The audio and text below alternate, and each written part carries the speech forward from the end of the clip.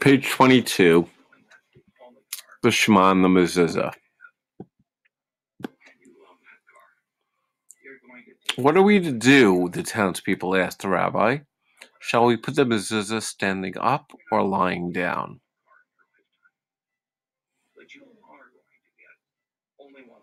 To the people who believed that the mezuzah should be standing up, the rabbi said, You are right. To the people who believed the other way, he said, You are right.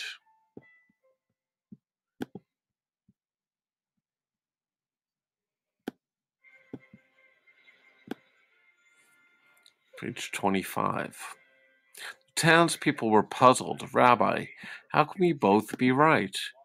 We can't have the mezuzah standing up and lying down at the same time. The rabbi said, You are right again. Very funny, Rabbi, both, both sides agreed. But the rabbi wasn't laughing. They were both right. You haven't read the instructions very carefully. The very first word on the mezuzah special paper is listen. Shema. Hear. Listen to one another. You must put the mezuzah on the doorway so that it is standing up a little and lying down a little.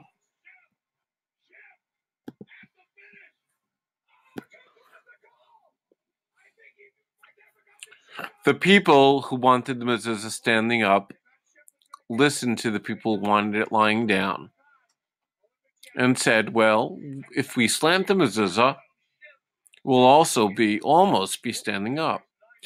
And the people also wanted the mezuzah, uh, who wanted the mezuzah lying down, listened to the people who wanted the wanting it standing up, and said, well, if we slant the mezuzah, it will almost be lying down. Both sides liked the rabbi's idea. The people stopped shouting. They stopped arguing. They stopped yelling. They listened. They put up the mezuzahs. The people lived in many different kinds of homes, but they were one people. It is just like the Shema tells us God is one.